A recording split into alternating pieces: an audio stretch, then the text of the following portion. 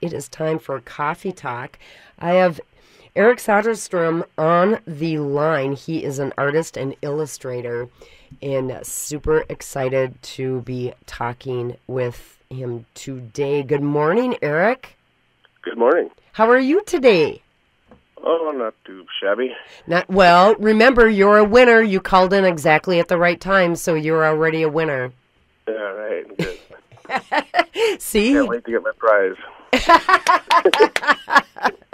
oh, that's awesome. Uh, so there's so much to talk about. I connected with you, well, through a friend, and because you are local, you are from Two Harbors, Yep. born and raised, graduated, all that stuff. hmm All right, and you currently live in Silver Bay. That is correct. Yep. Yes. And um, this is kind of like a joint effort here that you illustrated as an artist a children's book that came out earlier this year, New Moon's Family, from our own KTWH uh, radio host, Erika Adams. She does the Tale Collector show here, and you were the illustrator. So how how did you guys connect to do this book? Um, well, uh, Erika is a part of a uh, writers group. I guess that meets at the library, and I'm a part of uh, Voyager Artist. Okay. Um, and uh, there's a Shelley Getton. Yeah. Uh, is in both groups. and uh, Okay, see, Erika was doing. Yeah, Erika was doing a story at the time on dragons, and she said you got to go come see our dragon guy. Which we have some artwork down at the at the Voyage Art Center down there. So Okay. uh, so she to that, but then she came up with this other story that she had written already. She's still working on that the dragon story. So, Okay. but yeah, we, she asked me, and uh, it was a long time ago. It was about two years from the time she asked me to till when the book came out. It actually came out at the end of last year, Okay. October first, and that. But yeah, Oh, okay. Okay. like you said, I was introduced to it in January, so it's been out since October. So awesome. So, what got you excited about this project? You said that she had already had part of it written.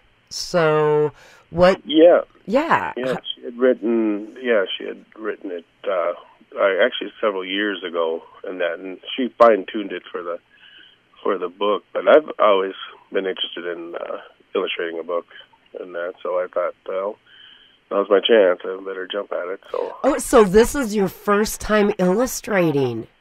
yeah, yeah. What Yeah, did you think of the process? Uh, there's a lot to it.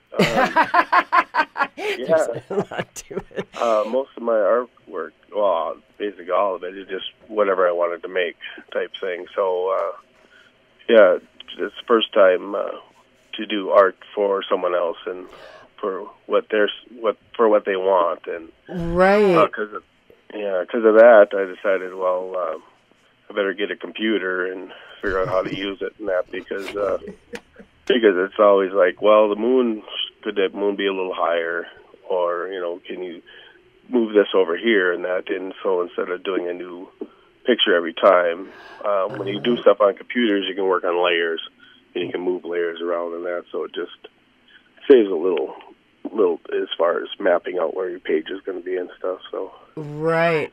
So, did you have like a storyboard? Like, you had an idea of what you were going to do for each page? Or how did that process work? You, you said that you were doing it in layers and changing things around, but did you have an overall concept of where you were going to go with it?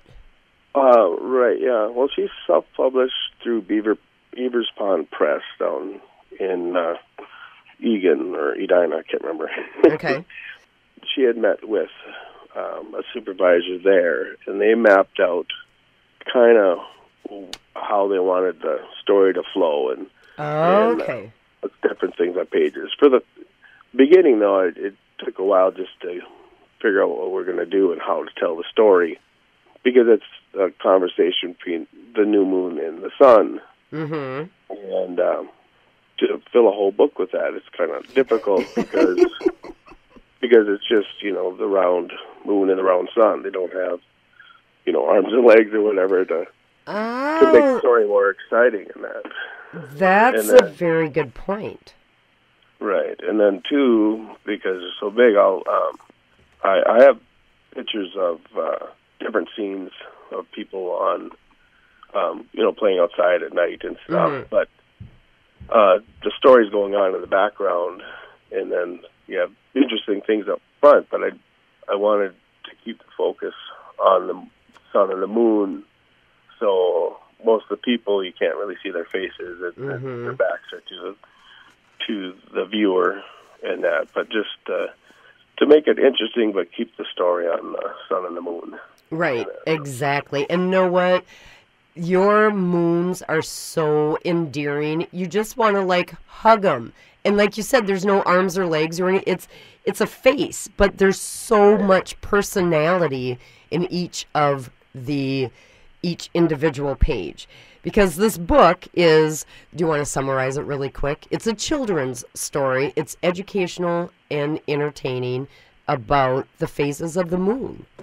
Yep, yep, and it's also just uh, kind of a universal story about uh, feeling alone and missing missing loved ones too. So it works, you know, that way, so everybody understands. I was, I donated one to uh, to the elementary school here in uh, Silver Bay, and I was talking to the librarian there, and she said that she's read it to all the classes through sixth grade, and uh, she said all the kids really like it and they're really engaged in the story because it's not just it's not written for just little kids. I mean, there's Exactly. there's some challenging words in there and stuff, but it's written in uh, what do you call that? Well, not in rhyme, but yeah.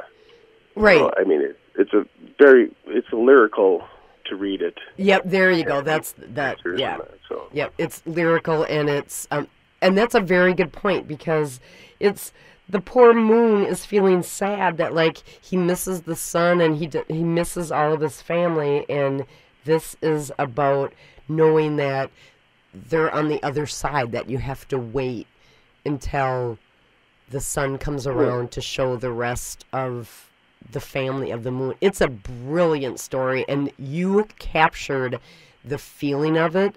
I mean, it illustration is a huge part of the story itself, and you just made this story come to life. It's it's absolutely beautiful. Well, well, thank you. Yeah, it was, like I said, it was a long, long process. but you know, probably because of the long process, it it helped flush out the uh, pictures more because I had more time to think about what how how how it would come across and keep focus on the right part of the story, but yet yet make it interesting and that and uh, each phase. I, I I just had to think of what everybody does at night, too. You know, like they're chasing fireflies in one, and Yeah. people are looking through the telescope and other things, or there's a Halloween scene in there, whatever. But uh, just to keep that interesting, um, I had these little people around there. But um, a happy accident was that it when you printed it, it's like three or two or three values darker, so some of it, it's hard to see some of the night scenes. Oh, okay. Uh, the librarian said that kids love to try to find the little uh, picture or what's going on in there and look for little people and stuff. So they, they had made it kind of like a little adventure to try to figure out all the Yeah, like a little I Spy going on. Yeah. yeah Yeah, because, yeah, because here, like, there's a swing set, and if you weren't looking for it, it's hidden. And hmm yeah, oh, very cool. Now, where can listeners um, pick up a book if they are interested in, in Um, seeing this and reading it? There, uh, yeah, I think they have them several local bookstores. It's in the Barnes and Noble in Duluth, Okay. and it's um, you can go on Amazon dot com and get it, and in Barnes and Noble their website, and Itasca Books their website too. Okay. But she's been placing them around in in uh, lots of gift shops and bookstores around, and Okay, cool. And it's New Moon's Family by Erika Adams and illustrated by you, Eric Soderstrom. So Soderstrom. Soder Soderstrom Soderstrom. Yep. Okay, cool. Scandinavian, so yeah, Soderstrom. okay, Soderstrom. Oh, that's, that's that's super funny. Okay, very very cool, and of course I would imagine, like you said, the libraries have them as well. So, your first um, book, and you said that she's got another one in the making. Are you going to illustrate that because you're like way into dragons? Is that what I understand? And doing like yeah. mystical stuff. Yeah. Uh, well, this one's uh, like a young adult novel, so if I do that, it'll, it'll be Oh. the cover. Oh, it would just be the cover. Maybe a little thing here and there. Yep. Okay, But uh, gotcha. yeah. Where can listeners find other work that you've done? You said you're with the Voyager Art Club, and your stuff is down by the depot in your in that building there. Uh, Mhm. and are are you showing any other at any other locations right now? Um, I'm at the uh, up in Grand Marais. There's our gallery, uh, the the big lake. Um, I'm I have several things up in there too, but otherwise I'm uh, just getting stuff out on my Facebook page and here and there. But uh, How'd you, uh, how'd you yeah, get nothing- how'd you get into art? I mean, is this just a a new thing you've picked up, or have you been doing this for a while? I believe you went to school for art, didn't you? Well, yeah. Well, um, I went to actually. I went, I went to school and I was going to be chemistry, biology, and I started taking uh, art classes. And then once I started taking more, it, just kind of snowballed, take more and more and more. So, I mean, I just love it, and uh, I've always it's always kind of been on the back burner because uh, paying bills and, and family and kids and stuff Right. but it's my kids are getting older now, and uh, I'm just trying to get stuff out out in the world a little more than that. So, That's so awesome. And what is your preferred medium that you work with? um, I I mostly draw with pencil just through the years, just because it's the easiest to pick up and set down again. Okay. And uh, but um, I I do whatever I get my hands on: sculpture, pottery, Ooh. um, drawing, and uh, little bit of painting here. Now now digital art. Now that I figured out how to do it on the computer. that that is hilarious that you seriously got your first computer because of this book. I love it. Yeah. Love it. Love Yeah, it. uh, and a few YouTube videos later, I got a book out there. Yeah, Uh, well, and besides the fact that you're extremely talented too, so don't cut yourself short on that one. So, well, thank you. oh my goodness, Eric, I have to let you go. Anything we didn't talk about that you really wanted listeners to know? Um, no, uh, I guess just uh, pick up the book. It's a great book. Um, I'm not making royalties off this book. I was just a hired gun in that, but uh, yeah, uh, it's very Well- enjoyable. Like I've heard people say, it's an heirloom book and that. So pick it up and. Uh, yeah, I guess that's about it. And look for me out and about. So, Soderstrom. Am I saying that right now? Yes, you. Soderstrom, S O D E R S T R O M, and you are in Grand Marais here at the Voyager, and uh, you're, Um, yep. and the, the book is New Moon's Family. Very, very. I like how you called it an heirloom book because that's it, it's like a, in a prominent place on my bookshelf, and I don't have a huge bookshelf, so very, very awesome. Thank you, Eric, so much for calling in, and uh, remember, you're a winner. Okay. Thank you. okay, I, um, when that dragon book comes out, or if you get another show going anywhere, or if uh, you know if you want to touch base, you got my number, and I would love to uh, have you in studio. That would be super fun. Okay. Yeah. Okay, cool, Eric. You have a fabulous rest of your day. Yep. You too. Alrighty, thanks. Having me on. All right. Yep.